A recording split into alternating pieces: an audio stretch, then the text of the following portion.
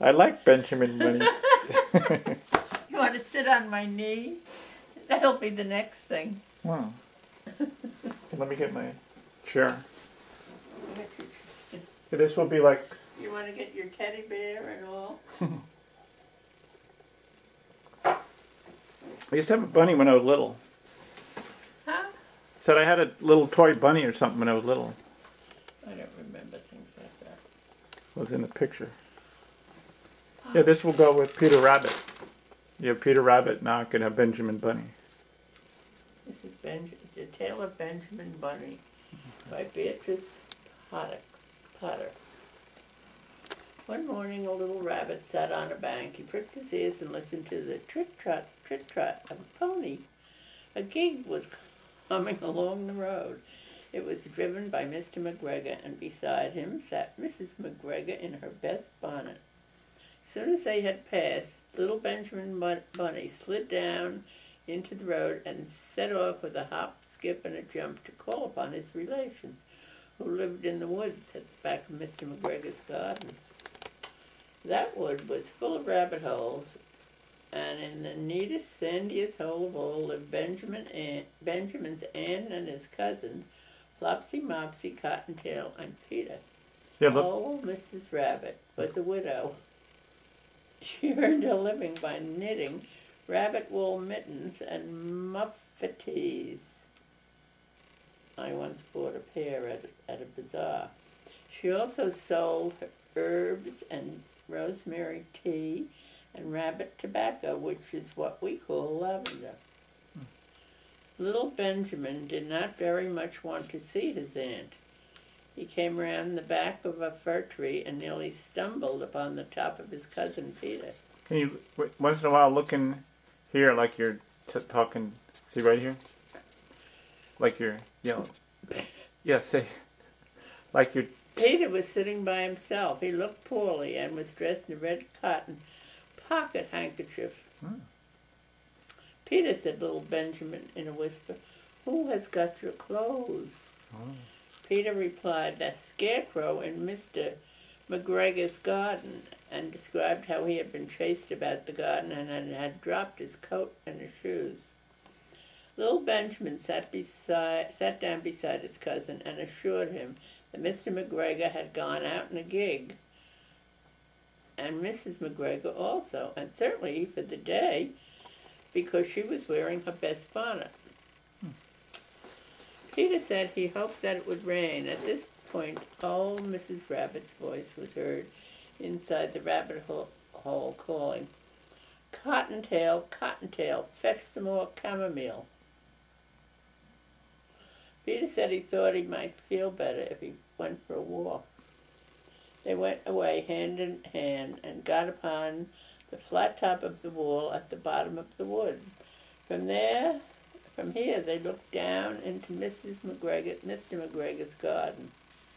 Peter's coat and shoes were plainly to be seen on the scarecrow, top with an old o' shanter of Mr. McGregor's. Oh. I was wondering where they were. Because. Little Benjamin said, It spoils people's clothes to squeeze under a gate. The proper way to get in is to climb down a pear tree. Peter fell down head first, but it was of no consequence, as the bed below was newly raked and quite soft. It had been sown with lettuces that they left a great many odd little footmarks all over the bed, especially little Benjamin, who was wearing clogs. Hmm, little Benjamin said that the first thing he to be done was to get back Peter's clothes in order that they might be able to use the pocket handkerchief. Hmm. They took them off the scarecrow. There had been rain during the night, there was water in the shoes, and the coat was somewhat shrunk. Benjamin tried on his on the tam o' shanter, but it was too big for him. Then he suggested they should fill the pocket handkerchief with onions as a little present for his aunt. Peter did not seem to be enjoying himself. He kept hearing noises. Benjamin, on the contrary, was perfectly at home and ate a lettuce leaf. He said that he was in the habit of coming to the garden with his father to get lettuce for their Sunday dinner. The name of little Benjamin's papa was old Mr. Benjamin Bunny. Hmm. The lettuces were cer- certainly were very fine. Peter did not eat anything. He said he should like to go home. Presently he dropped half of the onions. Little Benjamin said that it was not possible to get back up the pear tree with a load of vegetables. He led the way boldly toward the other end of the garden. They went along a little walk on planks under a sunny red brick wall. The mice sat on their doors, on their doorsteps, cracking cherry stones.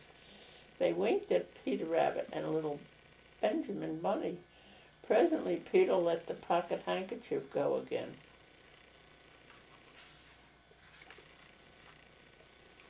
They got amongst flower pots and frames and tubs. Peter heard noises worse than ever. His eyes were big as lollipops. He was a step or two in front of his cousin when suddenly he stopped. This is what those little rabbits saw around the corner.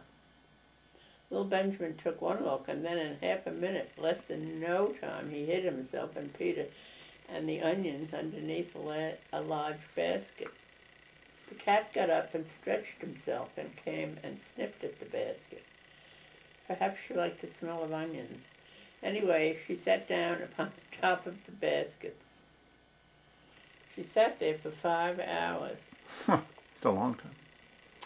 I cannot draw you a picture of Peter and Benjamin underneath the basket because it was quite dark, and because the smell of onions was fearful. It made Peter Rabbit and little Benjamin cry.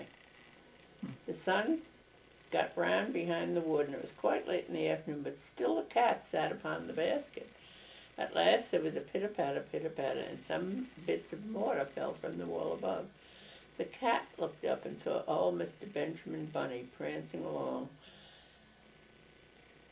the top of the wall of the upper terrace. He was smoking a pipe of tobacco, rabbit tobacco, and he had a little switch in his hand. He was looking for his son. Hmm.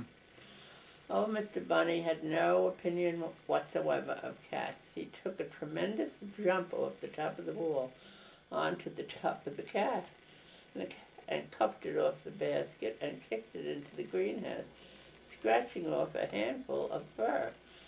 The cat was too much surprised to scratch back. Hmm. When Mr. When old Mr. Bunny had driven the cat into the greenhouse, he locked the door. Then he came back to the basket and took out his son Benjamin by the ears and whipped him with the little switch. Hmm. Then he took out his nephew Peter. Hmm. Then he took out the handkerchief of onions and marched out of the garden.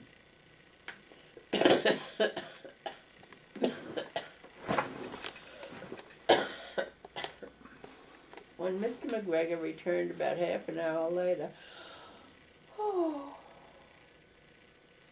he observed several things which perplexed him. It looked as though some person had been walking all over the garden in a pair of clogs, only the footmarks were too ridiculously little. Also, he could not understand how the cat could have managed to shut itself up inside the greenhouse, locking the door upon the outside. Hmm. When Peter got home, his mother forgave him because she was so glad to see that he had found his shoes and his coat. Cottontail and Peter folded up the pocket handkerchief, and old Mrs. Rabbit strung up the onions and hung them from the kitchen ceiling with the bunches of herbs and rabbit tobacco. The end. Hmm. Now you have to go to bed. Oh, that's good. Now I get Peter Rabbit. I'm not reading anymore. No, no. I could sell now.